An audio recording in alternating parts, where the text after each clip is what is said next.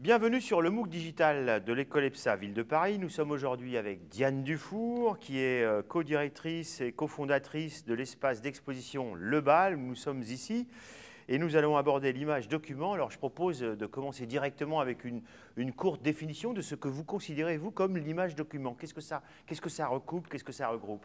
Oui, alors quand on a créé le bal, l'idée était moins de travailler sur euh, l'image documentaire, qui est quelque chose qui me paraissait plus formaté dans l'esprit du spectateur, sur une notion beaucoup plus ouverte qui est l'image document, euh, entre Jeff Hall, Gilles Perez, Walker Evans, Dirk Brackman, c'est-à-dire en fait euh, des pratiques qui visent à enregistrer la réalité, mais à inventer une forme. Et moi, je suis très sensible à cette notion d'invention d'une forme, une forme juste qui va dire le monde, le monde dans lequel nous vivons, mais qui aussi a une préoccupation d'innovation visuelle. Alors ce positionnement, je trouve qu'il est intéressant. Vous parlez évidemment essentiellement de documents photographiques, mais la question du document dans l'art contemporain est de plus en plus présente avec ce côté un petit peu art et recherche dans des lieux comme Béton Salon par exemple. La notion de document textuel, mais aussi photographique, elle est de plus en plus présente, et ça je pense depuis assez peu de temps. Alors, c'est-à-dire que le bal est, intervenu à un moment très spécial qui est aussi un tournant du tout image. Euh, j'aime beaucoup cette définition de Marc Auger qui dit euh, le, monde qui se représente, se représentant et qui ne cesse de s'enregistrer, s'enregistrant. Si vous voulez, il y a quelque chose de, ce voile d'opacité euh, qui est tombé sur nous avec toutes ces images et on est tous à la fois producteurs, diffuseurs, créateurs.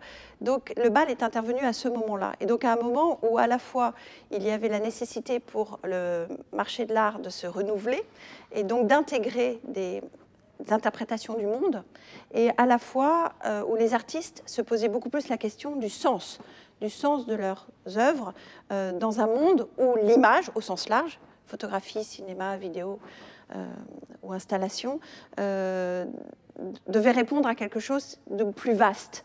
Et donc le bal correspond exactement à, euh, à ce moment-là. Euh, et c'est pour ça que c'est la rencontre à la fois d'un langage visuel et à la fois de, pratiques concernées par le monde dans lequel nous vivons. Euh, il est évident que ce que nous vivons en ce moment, toutes les perturbations, toute la complexité du monde qui paraît qu'on ne peut plus gérer, euh, ça me fait penser à cette phrase de Serge Danet qui m'a beaucoup euh, inspiré quand j'ai créé le bal. Hein, quand la question de l'autre a passé, il ne reste plus que du visuel. Il n'y a plus que du visuel. Et la balle, en fait, est, à la fois à la croisée de la question de l'autre. Nous reposons la question de l'autre au sens large, et à la fois la question du visuel, c'est-à-dire que l'image document dans le, les multiples euh, incarnations que nous avons présentées au bal, de d'Akuma Nakaira à euh, Stanley Schloder ou de Sharon Lockhart à euh, Clément Cogitor. Donc c'est un spectre très très très large hein, entre enquête, description, analyse, innovation formelle, abstraction. Euh, le BAL a pour but aussi de travailler contre le visuel, contre la culture du visuel. Alors, rapidement, je voudrais qu'on évoque un petit peu la, fondation du bal, hein, c'est il y a un peu, un peu plus d'une dizaine d'années. C'est exactement dix ans. Exactement dix ans. Mm. Alors une question un peu bateau qu'on mm. vous a posée mille fois, mais je ne peux pas me retenir, c'est comment on fait quand on... Je crois qu'à cette époque-là, vous étiez chez Magnum, déjà commissaire d'exposition, notamment avec Magnum, mais pas que. Et puis, euh, il y a sans doute un, désir de, bah, de s'émanciper un petit peu d'une structure, j'imagine, de, de, monter quelque chose, de faire exister ça. Mais au début, comment on fait, quoi? euh, Moi, j'ai travaillé, euh, j'allais dire, j'ai presque vécu à Magnum 18 euh, ans. Euh, donc, et à partir de l'an 2000, j'ai dirigé la structure pour l'Europe. Magnum est la plus grande coopérative, la plus ancienne aussi. elle a été fondée en 1947. Et donc, mon rôle était de représenter à peu près une soixantaine de photographes, dont le langage extrêmement différent euh, entre Joseph Koudelka, Raymond Depardon, Martine Parr, Henri Cartier-Bresson euh, et les jeunes, la plus jeune génération.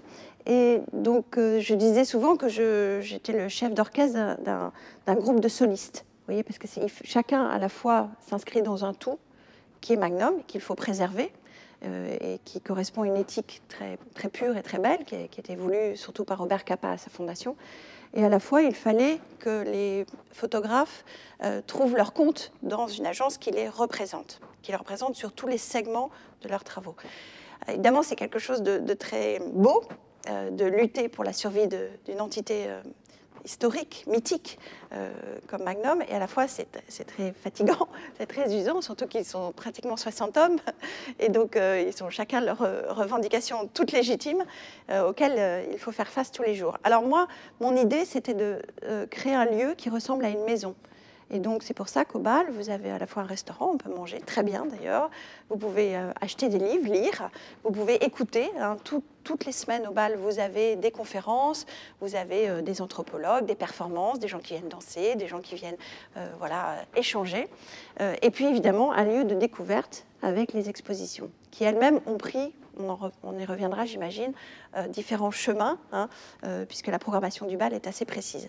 Au départ, c'est la rencontre avec ce lieu, qui est une ancienne salle de bal des années folles, c'est pour ça que le lieu s'appelle comme ça, euh, qui nous a inspiré, Raymond Depardon et moi, pour créer un lieu qui en fait avait une triple vocation, une vocation de faire découvrir des jeunes talents, une vocation de travailler sur cette notion d'image document, c'est-à-dire sur l'invention de formes en photographie, mais pas seulement, photographie, cinéma, vidéo. Hein. donc le lieu est dédié, comme on le dit euh, de manière générale, à l'image mécanique.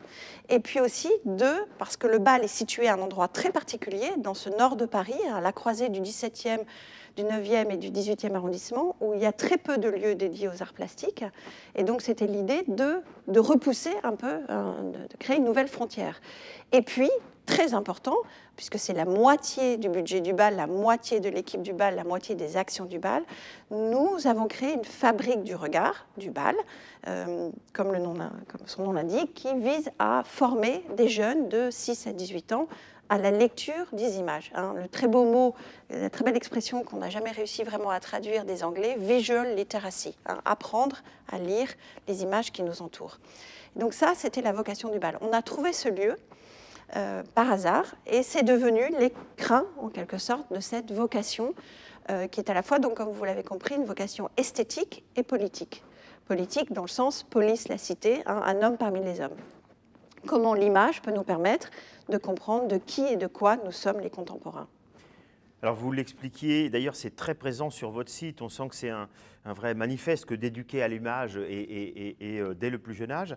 Et puis aussi, je dirais, un peu plus âgé, vous aidez aussi beaucoup à la jeune création, évidemment en, présentant euh, parfois des, jeunes artistes, et moins jeunes aussi, euh, et aussi en ayant des accompagnements, hein, des prix. Un prix le, plus visible actuellement, c'est celui avec la DAGP, qui est une société d'artistes. et là, elle est vraiment dédiée à, accompagner de, de jeunes artistes, de jeunes photographes. Le BAL, depuis sa création, a toujours euh, encouragé la jeune création. Nous avons énormément dédié d'expositions, de prix, de signatures de livres, de rencontres à, aux talents émergents. Euh, il y a quelques années, avec la DHGP, euh, donc cette société d'auteurs incroyablement indispensable pour les artistes, nous avons euh, relancé ce prix dont le premier lauréat a été Clément Cogitor avec son projet Braguino, la communauté impossible. C'était un, projet un peu exemplaire parce que le prix n'est pas un prix de récompense, c'est un prix de production. C'est-à-dire que nous accompagnons, une fois le prix décerné, nous choisissons donc le lauréat parmi à peu près 500 dossiers qui nous parviennent de toute l'Europe, de la Suède à la Turquie. Et euh, avec un jury, nous auditionnons une petite dizaine de candidats. Et euh, Clément Cogitor a été le lauréat de la première édition avec un projet euh, donc Braguino, la communauté impossible, que nous avons accompagné pendant deux ans. Il y a à peu près un an de production des images, il y a à peu près un an pour réaliser concevoir l'exposition et le livre qui vont accompagner la présentation au bal. Euh, dans le cas de Clément, le, projet était exemplaire parce que c'est un projet extraordinairement compliqué, ambitieux. Hein. il a tourné euh, donc dans un tout petit village, un hameau euh, en Sibérie, à 700 km de toute vie. Donc vous voyez déjà atteindre le lieu où il pouvait photographier et filmer a été déjà une épopée en soi. Et puis il a filmé donc euh, cette petite communauté autour du patriarche qui s'appelait Sacha Bragin et qui voulait s'éloigner, hein, vivre, ce qui résonne évidemment beaucoup avec nos problématiques actuelles, euh, dans un lieu hors de la civilisation. Donc il va essayer de recréer, un peu comme le mythe de Taureau, hein, l'homme idéal qui vit en communion avec la nature. Or, au moment où Clément Cogitor arrive et filme cette communauté idéale, la famille s'est étendue depuis les années 70, date d'installation de, de la famille dans cet endroit. Et un mur est en train physiquement de s'élever dans un mot, vous avez une dizaine de maisons, tout petits, pour séparer deux parties de cette famille qui, euh, qui se disputent violemment, de la même famille, du même sang. Et donc, en fait, en quelque sorte, cette, euh, ce travail de Clément Cogitor montre euh, une double impossibilité, l'impossibilité de fuir, l'impossibilité de rester, la nécessité de composer avec l'autre, qui est en quelque sorte la part maudite de soi. Et on, on le sent très très bien dans toute l'installation qui avait été magnifiquement orchestrée par Clément avec notre scénographe du bal euh, Cyril Delhomme, parce qu'on sentait à la fois cette tonalité crépusculaire qui tombait sur les hommes. Hein. Est-il encore possible de vivre en communauté? Et puis à la fois euh, sur la puissance des images filmiques. Hein, euh, Clément Cogitor, qui depuis a reçu le prix Marcel Duchamp, depuis a réalisé la mise en scène des Andes Galantes à l'Opéra. Donc il y a, et nous avons aussi vendu toute l'installation, pas nous, euh, Clément a vendu toute l'installation du bal au Magval. Donc, vous voyez, c'est voilà, à peu près ce que nous faisons, c'est-à-dire que c'est quelque chose, le bal qui est un lieu de, qui est une chambre des échos de euh, cette pensée. Euh, Clément, en faisant ce projet, pensait le monde dans lequel nous nous inscrivons, et ensuite, ce qui est formidable aussi dans son cas, et ce que nous privilégions au bal, c'est qu'il va inventer un langage. si vous voulez, c'est ça le bal, c'est d'avoir à la fois le meilleur des deux mondes, c'est-à-dire une, écriture euh, qui tout d'un coup nous permet de euh, comprendre comment le monde est représenté, comment le monde est perçu comme une expérience unique. Vous parlez d'écriture artistique, on pourrait aussi euh, parler d'écriture et de recherche, puisqu'il y a aussi tout un volet recherche ici, euh, la notion en université, entre université, d'école d'art, euh, de, recherche et création, quelque chose qui se développe vraiment et qui se développe ici, notamment avec des publications, avec quantité d'auteurs, de chercheurs, d'universitaires. Je crois nommer les, carnets du bal, et ça c'est quelque chose auquel vous tenez évidemment beaucoup aussi. Oui, parce qu'aujourd'hui le bal est, est assis en quelque sorte sur trois piliers. Vous avez le pilier des expositions. Euh, vous avez le pilier de la fabrique du regard, donc euh, apprendre à lire des images, et vous avez ce pilier de recherche que nous développons. En fait, on s'est aperçu que le bal était traversé, comme notre pensée contemporaine doit l'être, traversé par une quantité de propos, discours, euh, attitudes, postures, gestes, et que c'était important que la recherche, les chercheurs prennent une voie prépondérante dans, cette réflexion. Et donc, par exemple, nous avons euh, listé, euh, ce que nous n'avions jamais fait pour les 10 ans du bal, euh, le, nombre de chercheurs qui étaient passés au bal, ou en collaborant dans les expositions, ou par la signature d'un livre, ou en organisant un forum, une conférence au bal, ou les carnets du bal que nous montons en, collaboration avec l'École des hautes études en sciences sociales tous les ans. Donc, et, c'est à peu près 300 chercheurs. Alors, des anthropologues, des sociologues, mais aussi des, chercheurs très spécialisés. Par exemple, nous avons, il y a deux ans, mené un projet extraordinaire, vraiment, qui dépasse de très loin l'échelle du bal, avec une jeune artiste iranienne, Anna Darabi, et une jeune chercheuse iranienne, Shura Makaremi, du CNRS. Et toutes les deux, elles ont monté un projet absolument fascinant par son ampleur et son côté totalement inédit, elles ont travaillé sur la collection de l'artiste, des livres qui ont été publiés pendant quatre ans, 79, 1979, 1983, au moment de la révolution iranienne.